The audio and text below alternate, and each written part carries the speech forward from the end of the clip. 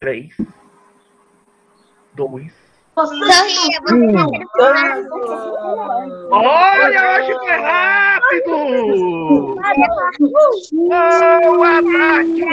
É, boa tarde, Brasília, boa tarde, DF, boa tarde, Bandeirante, Riacho Fundo, Arniqueira, Areal, Guará, Ibanês. Bolsonaro. Estamos começando mais uma aula online de acordo com o protocolo de segurança contra a, com a pandemia do coronavírus. Embora. A aula de ciências hoje é o seguinte. Vamos falar dos tipos de energia. Isso, tá perfeito, Fabrício. Essa caneta aí tá ótima. Vamos falar hoje dos tipos de energia que existem no nosso planeta, as formas de energia. O que se pode adiantar é que existem dois tipos de energia. A energia que pode ser renovada e aquela que não é renovável, que a gente tem que preservar para a gente sempre ter. Fonte de energia renovável é aquela que pode, sim, a gente, é possível se renovar a cada dia, a cada dia, a cada semana, a cada mês. Fonte de energia não renovável é aquela que depende, que não depende é, da natureza, depende da gente fabricar. Por exemplo, carvão. É mesmo, aquele carvãozinho de churrasco é uma fonte de energia não renovável. Oxe, Porque a gente precisa fabricar, a gente precisa fabricar para ter. Então, isso é fonte de energia não renovável. A- é que a gente tira da natureza. A natureza não dá pronta para a gente. Mas e carvão A vegetal? gente retira, a gente retira da natureza e fabrica o carvão, por exemplo. Professor, mas e carvão vegetal? Dá no mesmo. A Sério? mesma coisa. A gente tem que retirar o carvão vegetal da natureza. Derru- Derruba a árvore, queima a árvore e ali você tem o carvão vegetal. Ah, Porque tem a diferença de você conseguir o carvão mineral e o carvão vegetal. O carvão mineral é o que você gasta e é, você gasta mais recursos da natureza. Agora, o carvão vegetal é aquele que você pega a árvore, corta, tora, queima ela todinha, e ali sai, os carvão, sai a- o carvão mineral, o carvão vegetal, quer dizer. Então, existem esses dois tipos de fontes. As não renováveis é que a gente precisa ter mais cuidado, a gente precisa preservar o meio ambiente para a gente sempre ter. Para não acabar. O que a gente vai fazer? Agora, com esse material aí, essa experiência aí que eu quero falar com vocês, é um dos tipos de energia. Ah, mas antes disso, deixa aqui, ó, mostrar para vocês uma coisa. Vocês já tiveram a curiosidade de saber o que tem dentro de um fio, de, de um fio? Não! eu já tive, só que passou. Essa vontade de saber o que tem dentro do fio. Ou vocês têm medo? Não, não ou tenho vocês medo ficaram não. com medo de energia tenho. elétrica? Medo- eu não tenho medo de energia elétrica. Eu ficava Não, eu já doidinho pra me- eu ficava doidinho pra mexer naqueles negócios de energia da escola. Ficava doido. Pois é, se a gente tivesse no presencial, a gente ia fazer essas experiências aí com energia, com fio elétrico. Agora aqui, ó, só para mostrar para vocês. Dentro do fio de energia, de, de um fio, isso aqui é um fio que eu peguei de um cabo, um antigo cabo USB. Aí eu fui, cortei. E por dentro do fio tem essa estrutura aqui, ó, que é meio laranjado, marronzinho. Esse aqui é o chamado cobre. Essa aqui é a verdadeira fonte de energia que passa e faz funcionar os equipamentos, que faz funcionar o cabo USB. É o cobre. Esse cobre aqui é que o pessoal às vezes até pega para poder revender, porque isso aqui é fonte de energia não renovável. Isso aqui o cobre você retira da natureza para poder transformar em fio elétrico e aí você faz os aparelhos de eletricidade. Então, ó, quem nunca teve curiosidade de olhar como é que é um fio elétrico por dentro, ele tem isso aqui, ó, tem um cobre. E é graças Ah, já cobre, vi isso na caixa Que- de som. isso mesmo, é o que faz funcionar a caixa de som. Se não tivesse essa borracha aqui ao redor, vocês tomariam um choque de mais ou menos 200 volts e você iria até para trás. Você, você, você até Professor. na parede. Professor, Então, precisava é por isso, então é por isso que por detrás do fio de cobre tem essa emborrachada aqui, ó. Porque a borracha, ele isola a eletricidade. É um mau condutor de eletricidade. Então a energia só fica nessa parte do cobre aqui. A pessoa que for pegar nessa parte de cima aqui da borracha, nunca vai tomar choque nisso aqui. Nunca, nunca. Porque a borracha Professor, péssimo condutor de energia elétrica. Professor, Pergunta. eu não preciso nem de cortar o fio, porque eu já vi gambiarra e tinha uns fios sem o cabo. Sem essa parte emborrachada, né? É, né? É, isso aí é que é o perigoso. Que se tiver funcionando e você botar o dedinho ali, ó, você vai todo para trás com a descarga elétrica. Então é por isso que todo fio elétrico tem esse emborrachado aqui por cima. Que é para ninguém tomar choque quando estiver funcionando. Isso é só um dos meios, um dos tipos de energia que existem. O restante eu vou mostrar aqui para vocês.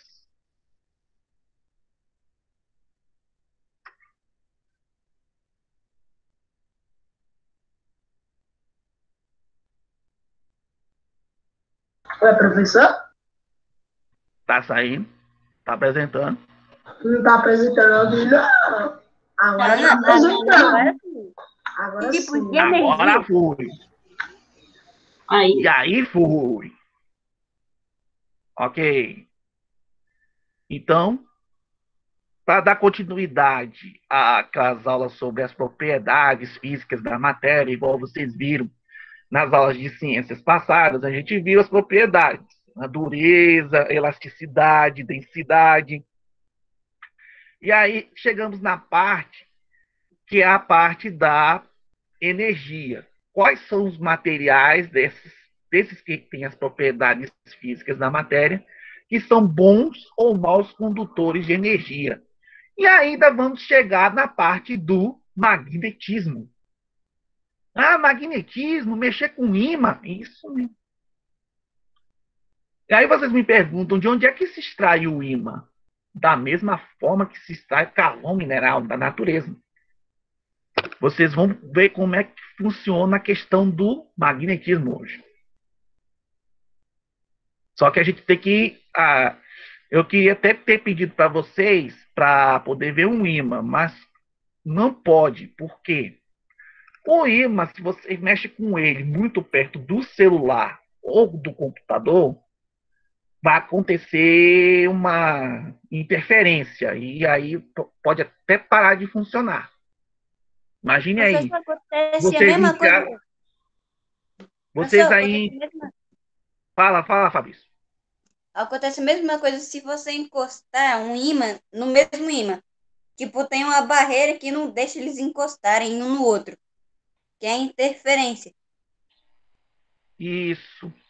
Aí é porque é o seguinte, o ímã tem um polo norte e tem um polo sul. Se você encosta no ímã os dois polos norte, eles vão dar interferência, eles não vão encostar. Agora, se você pegar o ímã, o polo norte de um e o polo sul do outro, eles vão se atrair. Que é como a fala acreditar, né? Os polos opostos se atraem. Mas aqui é porque é o seguinte, também tem imã no dentro do computador e do celular. Se você chega com uma pedrinha de imã perto do computador do celular, isso vai dar uma interferência terrível. E aí pode acontecer de até danificar o computador ou o seu celular. Vou tentar Por isso eu falei, por isso eu falei para ninguém pegar imã. Não, não use imã hoje de Ah, jeito nenhum. por quê? Né? Eu queria ver o que, que aconteceu com o meu computador. Se fosse eu, se fosse no presencial, com certeza. A gente iria ver. Mas, deixa quieto. Numa oportunidade melhor, a gente vê. Vamos então aos tipos de energia que existem. Aqui, por causa que a letra está em amarelo, a pessoa que fez o. Fez aqui o slide foi extraído, colocou aqui amarela, é energia luminosa. energia luminosa. A luz ou energia luminosa, na forma como a conhecemos, é uma gama de comprimento de onda que o olho humano pode ver. Trata-se de uma radiação eletromagnética pulsante.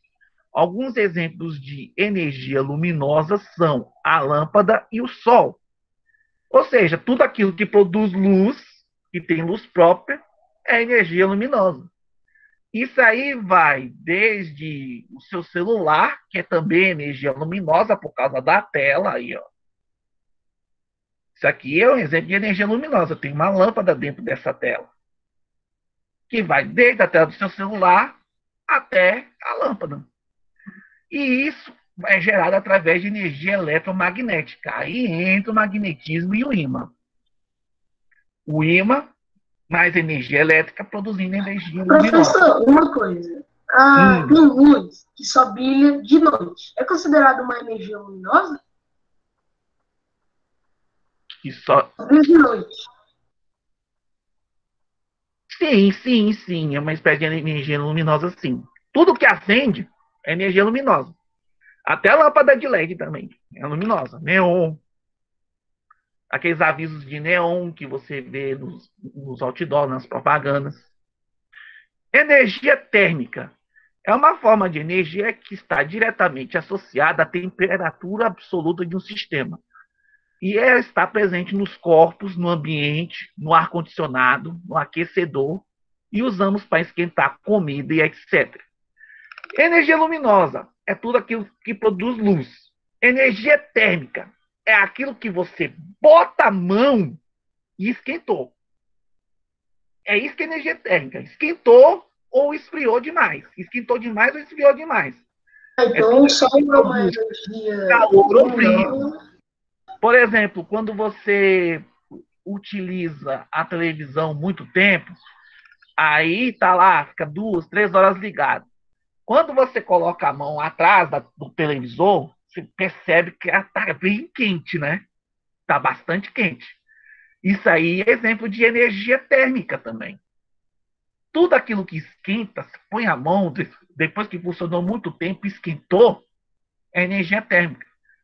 Ah, mas por que fala, professor, do ar-condicionado, sendo que o ar-condicionado deixa tudo frio? Mas bota a mão no ar-condicionado lá atrás, para você ver o quanto que esquentou. Então, produzir o calor é uma forma de energia, energia térmica. Outra coisa que esquenta também, quando está funcionando, além dos aparelhos, o pessoal pensa também a geladeira, o fogão, o forno. Tudo isso tem presente neles a energia térmica. Você vai assar alguma coisa no forno, o forno vai ficando quente, aquilo ali é energia térmica pura. É a energia elétrica associada para poder produzir calor. Energia química é a energia potencial das ligações químicas entre os átomos. Sua liberação é percebida, por exemplo, numa combustão. A energia potencial química dos alimentos é quando não nós comemos e não usamos energia, ou seja, ela está armazenada, não está em uso. Mas aqui no caso, a energia química que se trata, aqui está a figura da pilha. Combinaram várias substâncias químicas para que esse objeto produza energia. Quem já teve a curiosidade de ler o que está escrito numa pilha, você vai ver lá a composição da pilha. Tem lá vários elementos químicos: níquel, enxofre, ferro. São substâncias químicas. Então, a energia química é produzida pela combinação de várias substâncias químicas. Por exemplo, mesmo, o celular não precisa de bateria? A bateria do celular é, funciona com o mesmo princípio da pilha. Precisa de várias substâncias químicas para fazer a bateria do celular funcionar. Então, tudo que precisa de pilha, de bateria, é energia química. O carro também, professor, o carro também.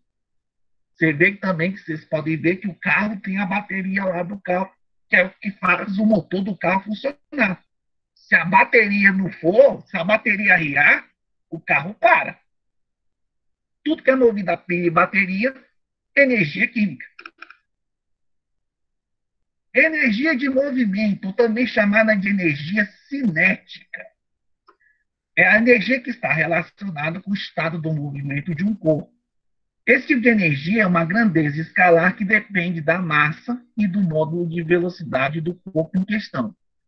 Quanto maior o módulo da velocidade do corpo, maior é a energia cinética. Quando o corpo está em repouso, ou seja, o módulo de velocidade é nulo, a energia cinética é nula. Ou seja, se não está se movimentando, não está produzindo energia. Agora, se movimenta, está produzindo energia. Então, é isso que é energia cinética, a energia do movimento. Você está fazendo isso aqui, ó, é energia cinética. Você está fazendo exercício físico, é energia cinética. Você está produzindo energia para queimar as calorias. Então, é, é esse é o princípio. Você produz energia ao se movimentar. Aí está mostrando na foto uma daquelas usinas eólicas, usina de energia eólica. O que, que é isso aqui? É energia produzida através do vento. O vento bate nesses cataventos geradores de energia, enquanto o catavento está se movimentando, nas casas está sendo produzida energia elétrica. Isso tem muito no Nordeste, porque lá é perto do litoral, perto da praia, eles instalam esses geradores de energia eólica, esses cataventos. À medida que o catavento vai girando, vai girando, vai girando, vai produzindo energia elétrica. A mesma coisa acontece com as usinas hidrelétricas, que a gente viu como é que funciona, né? A água do rio que passa pelo gerador, por aquelas turbinas, o gerador, a água faz o gerador girar, e no que ela está girando, é produzindo energia elétrica. Isso que é energia cinética. Todo, tudo que é aquilo que se movimenta produz energia. A energia elétrica é uma, é uma forma de gerar energia baseada na geração de diferenças de potencial elétrico entre dois pontos, que permite estabelecer uma corrente elétrica entre ambos. A maior parte da energia elétrica usada no Brasil vem das usinas hidrelétricas. Vocês até viram como é que funciona o esquema de uma usina hidrelétrica. A gente viu nas aulas de ciências lá atrás, viu que a água é importante até para produzir energia elétrica. A água do rio que passa pela represa lá, pela usina hidrelétrica, faz girar aquele gerador, no que as turbinas giram, vai produzindo energia elétrica. E ela vai chegando até nossas casas através daqueles fios de distribuição, aquelas curvas de distribuição. Aqui vocês estão vendo aqui os materiais bons condutores de energia elétrica, de corrente elétrica. A mais famosa, aqui ó, é ó, tipo metal, alumínio, cobre. Ó, existem objetos feitos de cobre com esse mesmo cobre aqui, ó, do fio de energia, dá para produzir esses objetos. O arame, que é de ferro, toda ferramenta de metal é boa condutora de energia elétrica. Se você colocar a mão e tiver energia é, elétrica circulando ali, tu vai tomar choque. A água, então, nem se fala. Eu vou até contar um caso aqui que eu conheço de uma certa pessoa que saiu da piscina e foi inventar de ligar o aparelho de som na tomada. No que ligou, como a mão ainda estava úmida, molhada, porque saiu da piscina, a energia elétrica percorreu o corpo da pessoa todinha, ele foi jogado para trás até bater as costas da parede. E isso por quê, meus amigos? Porque a água é um excelente condutor de energia elétrica. Se você está molhado e pega em algum aparelho com a mão molhada, ou você todo molhado, você vai tomar uma descarga elétrica. Pelo amor de Deus, nunca experimentem dentro de casa vocês tocarem o dedo naqueles buraquinhos da tomada com a mão molhada vocês vão ser jogados para trás com a descarga elétrica. Se bobear, podem até morrer. Porque a energia atravessa o seu corpo todinho. Caraca, até morrer? Se bobear, você pode até morrer. O coração bateu, viu? É porque a energia elétrica ela passa pelo seu corpo todinho. Ô, Tio, Fala. falando em energia elétrica, é, nem todas as energias que são assim elétricas só vêm assim de coisas sólidas e coisa e tal. Pode também vir de animais, sabe por quê? Tem é, um que é meio que uma cobra, mas é elétrica. E eu já vi ela uma vez na água. Eu saí correndo porque coração, porque se ela tocar em mim, eu tava molhado, então eu ia levar uma descarga elétrica. Mas Ah. A afasta Miguel ela. elétrica. Miguel elétrica. Sim. É, uma Enguia. Rapaz, que sorte você deu de encontrar uma energia elétrica. Sorte ao mesmo um tempo peixe. azar, né? Tem um peixe que ele dá choque, não é? É guia, Não tem é o que o explicação. Pietro está falando. É guia É, é elétrica. guia elétrica. Mas ela não era desse tamanho, não. Ela era desse tamanho aqui, quase do, do meu tamanho, assim, ó. É, bem tá, é, é grande. Ela é grande. A, a guia elétrica costuma ser grande, é quase parecida com uma serpente. É Aham. quase no formato de uma serpente. É, ela, ela até tem um apelido chamado Cobra da Água, porque ela é uma das Isso. que fica na água. Certinho. Outro animal também que produz descarga elétrica e, e pode até causar queimadura de segundo, de terceiro grau nas pessoas é a Acho água água viva. viva. Ah, eu acertei, viu? Água viva ou caravela. É, Ah, caravela eu dois acho que é mais perigosa. Eu acho que a caravela é mais perigosa. É como Professor. se é, ela, é, é, quem Professor, vê ela pela primeira vez pensa até que é uma sacola de plástico, né? O pessoal até se engana. Pensa que é uma sacola de plástico, mas se pegar nela, meu amigo, ela produz uma corrente elétrica que queima a pessoa todinha. Professor, e o cara que não sabia o que era essa caravela e pegou ela na mão e colocou ela na língua, fazendo vídeo. Ah, tem até vídeo disso, né? Sabia não. Pois é, perigoso. Então, se vocês verem lá uma espécie de saco plástico boiando no meio da praia, sai correndo. Que pode ser caravela. Ou senão pode ser até, até também sujeira, né? Porque praia, ultimamente, tem estado suja pra caramba. Então, esses são os objetos. Oi, Professor, diga, José Amado. Diga, diga, José Amado, por favor. professor, o senhor sabe o nome daquelas águas vivas que é bem pequena? água viva bebê. Eu acho que é caravela mesmo, é as caravelas. São as caravelas. Elas têm um formato de caravela.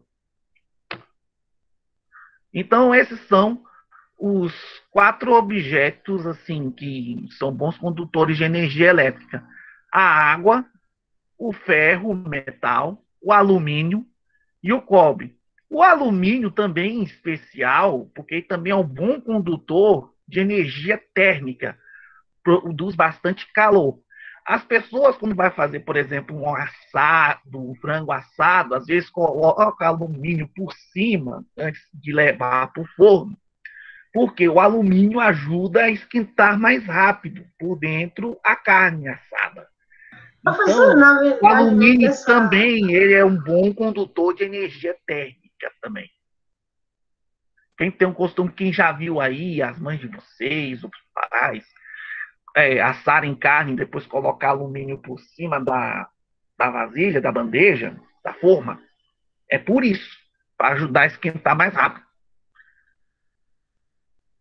Se não for, Professor, Professor, Diga. meu avô foi esquentar um churrasco. Aí tinha metal em volta do palitinho.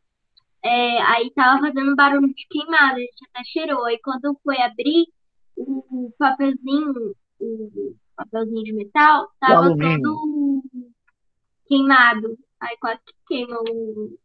Eu falo micro-ondas.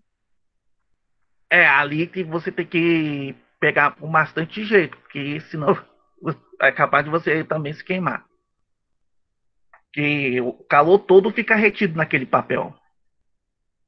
Professor, Diga, Fabi. é, eu tô com uma pilha aqui. Se eu encostar no meu celular, é, vai estourar o celular?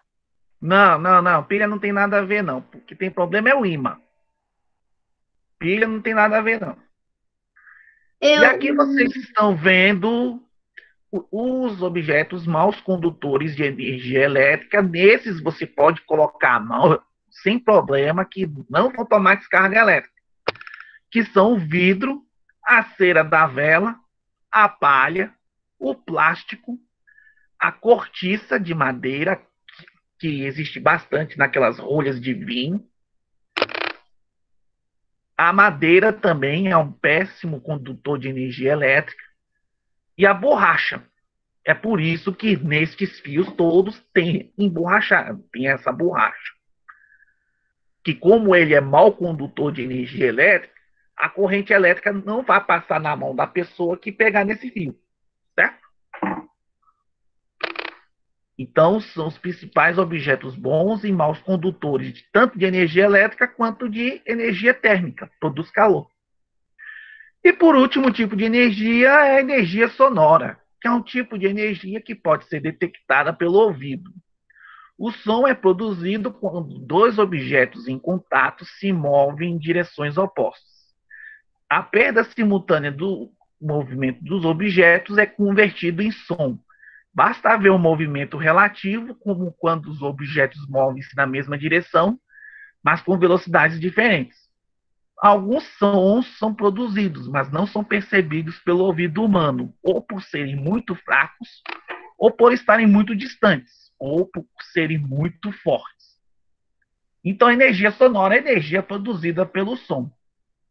E esse som é até medido em decibéis. Quando a pessoa fala, ah, se você. A, caixa de som, dependendo do tamanho dela, po- pode produzir um som de 300 decibéis. Se você ficar muito perto da caixa de som no volume alto, é capaz até de você perder a audição. Com tanto barulho. professor, Fala, Yasmin. tem um telhado que eu acho que eu já vi em filme também. É um telhado que ele produz energia. Energia solar. Energia É, solar. é, é. Energia solar. Uma dessa. Uma energia. Isso! Aí, no caso, a energia solar é também convertida em energia térmica, porque produz calor ali e o calor produz energia elétrica. Esse é o princípio da energia solar. Mas é aquela coisa, né? Enquanto tem Porque sol, tem energia eu vi- elétrica. Eu já vi em filme, é um- como se fosse um telhado de espelho que o sol pega e produz energia solar. Aí eu Hum. aproveitei para perguntar aqui. Sim, é até, a- é até uma forma de economia com energia elétrica. A energia solar vai resolver tudo? Não, né? Porque quando chegar a noite, não tem energia solar para resolver. Só produz energia enquanto tem sol lá, né? Esquentando. Energia luar. Isso. Agora, quando tá de noite, você vai ter que precisar usar energia elétrica. Mas isso aí já ajuda bastante na economia da conta de luz. A gente não precisa tanto de usar Quero a energia vindo a energia vindo da das hidrelétricas, das usinas hidrelétricas. Então, gente, esse é o princípio dos tipos de energia. Esses são os principais tipos de energia: luminosa, térmica, elétrica, sonora. Tem também a energia elétrica e tem também a energia cinética, a energia do movimento. Isso aqui que a gente vai fazer agora, a experiência, nós vamos mexer ao mesmo tempo com energia térmica e energia elétrica. E o que é que vocês vão fazer? Vocês vão pegar ou o pente, ou a régua. Ô, Vocês têm aqui, caneta. né? Vocês têm aqui o papelzinho picado também, né? Aqui, ó, meu papel picado já está aqui. Eu não vi esse papel picado, não. Tem que ter papel picado. Pois então eu vou picar o. Isso é uma forma de mostrar para vocês que nós, seres humanos, também temos energia. Então, o que é que vocês vão fazer? Por dois minutinhos, passem a régua ou o pente no cabelo de vocês. Fique esfregando assim, ó. Passar régua? Isso. O que, que é pra fazer? Eu não entendi, não. Você esfrega bem. Presta atenção. Você vai pegar ou a régua ou o pente e ficar esfregando aqui, ó, no cabelo. no cabelo. E fica esfregando no cabelo. Fica esfregando bem por uns dois minutos. Eita, Não dói. Tem que fazer bastante força, viu? Ai. Vou usar Não dói muito, velho. Ainda mais pra quem tem cabelo grande. Se eu ficar com nó no meu cabelo, eu mato todo mundo. Eu mato o professor. Vai matar ninguém. É mesmo. Que eu tô usando pente. Então, se fazer meu Pode ser o pente também. O professor pode ser caneta? Pode. Melhor ainda. Professor, Depois que você, o papel grudado depois que você esfregar, chega perto. ah, chega a régua perto do papel. Vou buscar o papel. E agora? Vai Olha Ô, Olha tio, aí, ó. Já começou a experiência? Meu Deus! tio, Olha aí. Tá vendo? tio. Energia eletrostática aí, ó. O Fabrício funcionou direitinho, é porque o Fabrício tem mais cabelo. Meu Deus, professor! Olha! Não tem mais nada, não. É só chegar assim, ó. Tem que passar no cabelo mesmo. Velho! Passa no cabelo. Aí, ó. Da Yasmin também deu certo, ó. Gruda! É energia eletrostática, gente. É Energia eletrostática. Meu Deus! Fazer de novo. Tio, Deixa eu testar aqui pra ver se cabelo. Olha aí, ó. O Eu meu trabalho o perfeito novo. que é pouco cabelo. Professor! Professor, não ouvi nada. Não Fala aí de nada. Esfrega o pente na cabeça. Esfrega o pente ou a régua do seu cabelo por dois minutos. Tem que ser no cabelo mesmo, assim, ó. Esfrega com força, com força. Esfrega, tu esfrega. O do professor. Aí depois que você tem que ser no cabelo. Mas você que Grudou, tem né? mais cabelo, grudou, velho. Gruda, mano. Gruda. depois, ó, que passa a régua no meio dos cortezinhos de papel. Vai vir os papéis todos grudados. Ou só o papel grudado. No caso do professor, porque o professor tem pouco cabelo. Você tem Então mais. solta! Então solta ele. Não! Aqui já tá ficando atrás, aqui já tá ficando descabelado. Velho, que bruxaria é essa? não, não deu não. Esfreguei, esfreguei, não deu. Nossa Então você senhora! não tá esfregando com força, Arthur. Fazer com a caneta. Uai, eu também tentei, esfreguei com força, achei que doeu minha cabeça, sério, não deu certo mesmo. Ah, você já tá Não deu esfregando, professor. Tem que esfregar. Aí, ó, o do Pedro também deu certo, massa. Ó, que Arthur, ó. Olha que eu tanto, ó. Mas meu não deu. Eu tô achando Olha que com, com caneta dá mais resultado. Olha aí, Fabrício.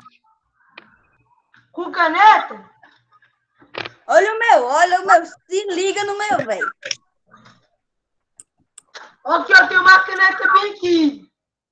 Pode fazer aí. Caramba, Tá ó? cabelo tá tudo embaraçado. Com caneta eu acho que fica Tá bem todo melhor.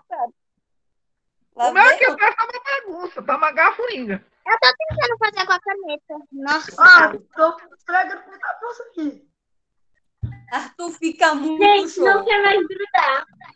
Ó, O negócio é que você tem que fazer com. Ah, e outra coisa. Se vocês já testaram de um lado, Tem que fazer do outro, senão não dá certo. Tá, vou fazer desse lado Faça aqui, do outro lado da régua. Eu tô tentando com a caneta. Eu já tentei com a régua, não foi. Ele tá grudando na minha mão, gente. Agora eu vou fazer com a caneta. O negócio tá grudando na minha mão. Nossa, parece que tá coçando o cabelo, né? Quando passa a caneta. Véi, tu coça muito o cabelo, parece que tu tem piolho. Nossa, doeu minha cabeça. Aí, ó. Até começa a quebrar minha caneta. Professor, solta o cabelo pra ficar melhor. Não adianta não. Não adianta não. Quem é careca não tem jeito. jeito. Meu papel é esse daqui, ó. Dá certo. Consegui, tio. Olha esse Tá vendo aí, ó? O Pietro deu certo. Olha que ele foi com caneta também. Deu certo mais com caneta do que com a régua. Eu consegui cinco. Professor, meu, não deu certo nem com caneta. Então você não tá esfregando direito, Arthur. O meu também não deu certo. Você tem que esfregar com mais força. O pessoal faz Arthur, esfregando. olha o mais. assim, ó, É assim, ó. É assim. Nossa! Aí, ó, você só tá ligando, Arthur. Você tem que, ó, pega na ponta, pega numa ponta do- da caneta e, ó, esfrega bem no cabelo. Meu Deus. Pega assim, ó. Não só dá pra passar na frente que você tem mais cabelo que eu. Professor, acho que você me matou, porque eu tô com vontade de vomitar. de Tanto que eu me E a mexi. gente, Deus! Ô, Vou professor, tentar com a régua de novo. professor, nem tinha encostado no papel. Olha o que você fez com o meu cabelo, professor. Ah, não. Ai, que ódio. Ô, professor, eu nem tinha encostado no Isso é papel. Nossa, você fez meu cabelo levantar. Não foi meu papel, foi meu cabelo.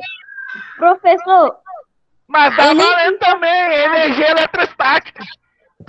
eu nem tinha encostado na caneta e o papel já subiu. O do Pietro tá dando perfeito, olha lá. O meu também. Eu peguei cinco, ó. Um, dois, três, quatro, cinco. Você consegue pegar cinco seguidos. Vou pegar É até porque- Não vou mais fazer, que meu cabelo já tá doendo. Peguei É porque seu cabelo é bom. Quem tem cabelo ruim igual o meu, ó, dá pouco. Dá um certo. Então solta, é isso que eu tô falando, solta. Ah, ah. Não Cabeloso. tem Faz nada a na ver com soltar. Não tem nada a ver Faz com na soltar barba. ou prender. Faz na barba. Feita na Então, barba. gente, não, na barba acho que piorou. Então, gente, esse Meu é o cabelo tá caindo. Isso é para vocês verem que até mesmo a gente é capaz de produzir energia elétrica. Isso aí é uma mistura de energia cinética com energia elétrica e magnetismo, que a gente chama de energia eletrostática.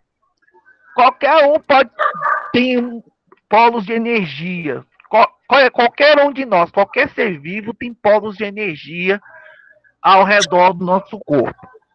A maneira como não isso é tinha, não. trabalhado é que é não diferente. Olha, eu tô esfregando desse jeito, professor. Olha aí. Tio, e se a Não gente dá. não tô energia, esfregando toda a força do mundo. Olha, ó. Depois você tenta outra vez, Meu ó. cabelo caiu. Não dá. Eu não gostei porque meu cabelo começou a cair. Tem um monte de tufo aqui de cabelo meu. Se a gente não tivesse energia, a gente Quem já tentou, depois mostra pra gente lá, tira a foto e mostra pra gente. Quem não conseguiu agora, depois, mais tarde, tenta novamente. eu consegui. Coloca a régua ou a caneta perto dos papeizinhos e testa. Pegar. Essa é a experiência bem, bem básica de energia eletrostática. Isso é um dos tipos de energia que a gente não utiliza muito. Agora, esse- agora, se a gente por acaso tivesse no presencial, a gente iria fazer duas experiências bem bacanas. Também dá na parede, tio. Vou mostrar para vocês. Ó, aqui, ó. Vou mostrar aqui para vocês. Primeiro, primeiro, por favor, desligue os microfones aí. Calma aí, professor, que eu soprei sem querer aqui o papel caiu tudo. Ai, meu Deus. Uma experiência que daria para a gente fazer também seria essa aqui. Essa aqui é a famosa experiência do eletroímã. Acho que já está sendo mostrada aí para vocês, né? Não. Tá indo vendo. agora. Tô vendo só sua cara. Tô vendo só sua cara, professor. Acho que é isso. Já começou a apresentar já, gente, aqui. Já, já começou a apresentar. O que é isso? Uma pilha, um fio e um prego? Isso. Professor, Essa aqui também. suportou, então ele saiu da aula, mas eu voltei. Ok, desliga o microfone aí que eu vou falar. Se, se a gente tivesse no presencial, a gente tentaria fazer uma dessas experiências aqui, ou todas elas. Uma delas é essa aqui, que é a, a- a fabricação do eletroímã. O que, que é esse eletroímã? Você chegaria, esse prego aqui, que está enrolado no fio de cobre, esse fio de cobre teria as duas pontas ligadas nesta pilha. Na medida que você aperta a pilha e chega o prego, a ponta do prego, perto de objetos de ferro, como, por exemplo, clipe, grampea- grampo de grampeador, os grampos ficariam grudados aqui nesse Mas ferro. certo. Os grampos ficariam grudados aqui na ponta desse ferrinho, daqui do, do prego. Então, o eletroímã, a função do ímã é grudar em tudo que é de ferro, certo? Então, isso aí seria uma espécie de ímã elétrico. Você pegaria um fio de cobre igual a esse, desencaparia ele todinho, tiraria a parte de borracha dele, até ficar só essa parte aqui de cobre, enrola no, no prego, enrola ele tudo no prego igual tá aí, as duas pontas em uma ponta no- ligaria no positivo e a outra no negativo da pilha. Eu não tenho esse negócio de alumínio aí, eu não tenho. Aí no caso, aí o que, que aconteceria? Você aper- apertaria os dois polos da pilha, o positivo e o negativo, nas duas pontas do fio. Você chegaria este prego enrolado perto de alguma coisa de ferro, como por exemplo o grampo, clipe de pregar papel. E esses clipes ficariam pregados na ponta do prego, ficariam grudadinhos. Essa aqui é a experiência do eletroímã, que vocês podem até depois vocês tentarem em casa. Qual o material que vocês precisam ter? Uma pilha, tá, é, pilha AA, que é aquela pilha é, nem muito pequena, nem muito grande. É a pilha que a gente usa para colocar em controle remoto e por aí vai, em brinquedo. Pode ser também aquelas pilhas grandes, bem mais gordinhas, também serve. Até aquelas pilhas têm mais energia do que essas pequenas. Você só precisaria de uma pilha, um fio de cobre igual a esse desencapado de fora a fora e um prego. E colocaria alguns clipes, né, alguns objetos de ferro por perto para poder grudar. Igual a gente fez com a experiência da régua e dos, dos papéis picadinhos. Você teria que ter uns grampos, uns preguinhos, uns clipes para poder testar o eletroímã. Então, isso aqui seria uma experiência até fácil de fazer. Tem outra que seria um pouco mais complicada, mas no nosso presencial daria muito certo. Que é de fazer funcionar um circuito simples. Como é que funciona esse circuito simples? Vou mostrar para vocês aqui no vídeo. Se por acaso não sair, se não sair é, só no vídeo, não se preocupem. É só para vocês conferirem e darem uma olhada. Como seria um circuito simples? Funcionamento de uma lâmpada com o apoio de uma pilha.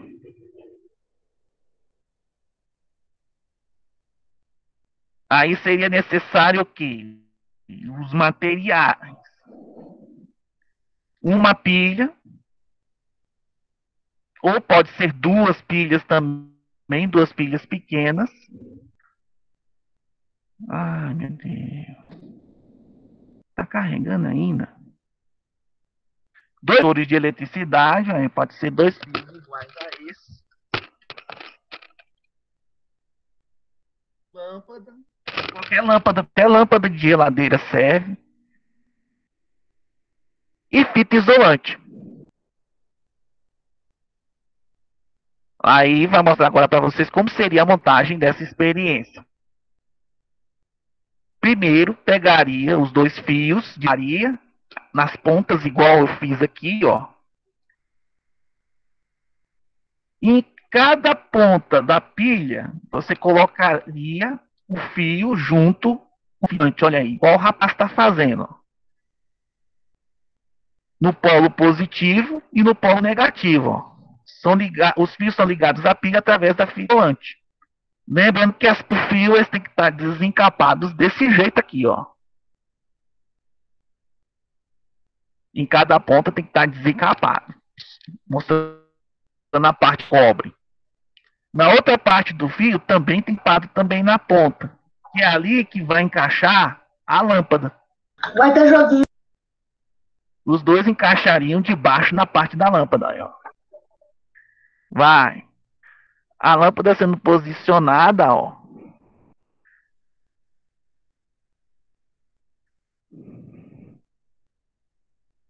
O fio do polo positivo. Aí, ó, dando uma ajeitadinha. Arthur, deu certo. Aí agora, ó. Olha aí como é que tá ligando. Com isso, o circuito será fechado e a lâmpada acenderá com a energia vinda da pilha. Aí, ó. Essa é uma das experiências mais bacanas que a gente faz durante o ano, ó, nas aulas de ciências. É só pegar o fio do polo negativo e colar na lâmpada com uma fita isolante. Aí você só pega o fio do polo positivo e encosta na parte de cobre que está colada. E aí a lâmpada vai acender só com a energia da pilha. É uma experiência bem bacana. Depois posso passar para vocês o link do vídeo no YouTube para vocês tentarem fazer em casa essa experiência. Cadê o joguinho? Ah, é perigoso. Ah, é perigoso, vai dar choque. Não, não dá choque nenhum, não. Fica tranquilo que isso aí é uma experiência bem tranquila de fazer. Vai ter que ir lá mostrando quais os materiais que você fez. Faça um desenho da experiência de hoje, vai? Ah, o relato de experiência hoje, não.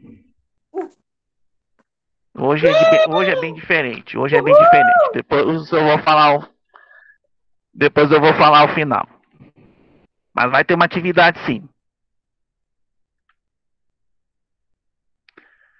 Voltando aqui à apresentação, faltou falar sobre essa questão do magnetismo, que é a capacidade de atração que um corpo denominado ímã tende a atrair metais como o ferro. Ah, magnetismo é isso, é você pegar o ímã, chegar perto de uma um objeto de ferro e esse objeto se atrair. Os ímãs têm os polos norte e sul, são apenas para efeito de estudo, pois não há como separá-los em apenas um corpo norte ou um corpo sul. A partir ao partir um ímã, mesmo que seja na metade inúmeras vezes, sempre teremos novos ímãs, fazendo que, com que na realidade não exista dois polos definidos, mas sim características do material. Os ímãs interagem uns com os outros, mas isso não ocorre de qualquer forma. Os polos de mesmo nome se repelem, os de nomes diferentes se atraem. O norte de um ímã atrai o sul do outro, porém o norte irá repelir o norte do outro ímã. Pode ver, ó, os, os opostos se atraem. Ó. os- a parte sul de um ímã vai atrair a parte norte. Eles vão ficar grudados. Mas se você fizer dois polos norte, eles vão se repelir, eles não vão se grudar de jeito nenhum. Dois polos iguais não se atraem, mas polos opostos se atraem. O norte se Ah, atrai agora eu com o sul. entendi.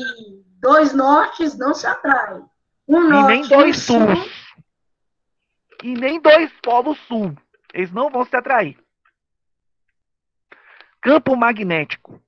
Ao redor de todo ímã há sempre um campo magnético, podendo ser visto ao espalhar limalha de ferro por cima do ímã. A limalha irá se organizar de forma a se concentrar perto dos polos do ímã. Então, tudo isso aqui ó, ao redor do ímã é polo magnético. Ou seja, até onde vai o poder de atração do ímã. Se eu chegar com alguma coisa de ferro aqui nessa parte, o ímã vai até ele. É isso que é campo magnético. É possível ainda perceber que ao retirar o ímã, haverá um desenho formado pela limalha de ferro. Ao desenho, evidencia a existência de linhas que, por serem decorrentes do campo magnético criado pelo ímã, são chamados de linhas de campo. Ou seja, faz de conta que essa tesoura é um ímã. O campo magnético estaria ao redor dessa tesoura. Ou seja, se eu chegar com alguma coisa de ferro aqui, o ímã logo logo vai atrair ele. Então é esse espaço aqui, ó, aonde está o ímã.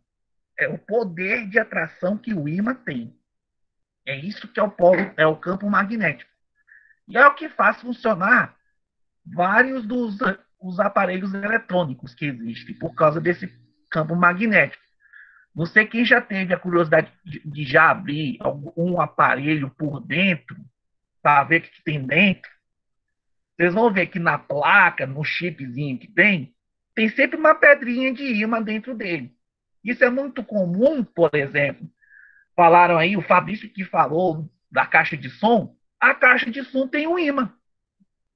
Atrás do, do Twitter, da caixa de som, tem uma pedrinha de ímã funcionando. Porque o campo magnético ao redor desse ímã faz ampliar a questão da carga sonora. E isso vai gerando energia elétrica. Quase todo aparelho eletrônico tem esse ímã. Quem já teve a curiosidade também de abrir aqueles carrinhos de controle remoto, atrás, por dentro do carrinho de controle remoto, tem um ímã dentro dele. Controle remoto também tem ímã dentro do controle Eu vi remoto. dia, eu já Eu tenho um, controle, eu tenho um carrinho de controle remoto estragado. Depois eu vou ver se tem um imã. Eu já, professor, eu Pode já fiz ele, sim. Professor, já fiz isso. Tinha um carrinho de controle remoto estragado. Eu fui lá, peguei a tesoura, tirei e dentro do carro tinha uma espécie de imã. Isso. Às vezes o- a pedrinha do ímã é desse tamanho dentro dos aparelhos, é bem pequenininha. É como se fosse um tijolinho. Então, ó, o sentido da linha de campo é sempre o mesmo, partindo do norte para o sul. Então, essas linhas aqui, ó, é onde está presente a linha de campo magnético, partindo do norte e indo para o sul. Então, como funciona a força do ímã? Simples, basta envergar o ímã para que os dois polos atraiam ao mesmo tempo o objeto metálico desejado. Sabendo que a força dos ímãs se encontra nos polos, o que fazer para maximizar o efeito atrativo? É só você conseguir mais ímãs. Quanto mais ímãs, mais força vai ter o campo magnético. E mais objetos você vai atrair. Professor, não tem no material impresso, tem uma atividade que é sobre eu juntar cor, tipo, das cores primárias, tipo, vermelho com amarelo, suponho que dá azul, suponho. Só que os meus lápis não se misturam. Como é que eu vou descobrir? Eu vou ter que pesquisar na internet, vermelho com roxo, dá tal cor. Porque eu não tenho tinta guache. Eu tenho. Ah, não, aí é outra atividade, atividade de gosto da rosa. Aí o Atividade de artes a gente nem comenta aqui. não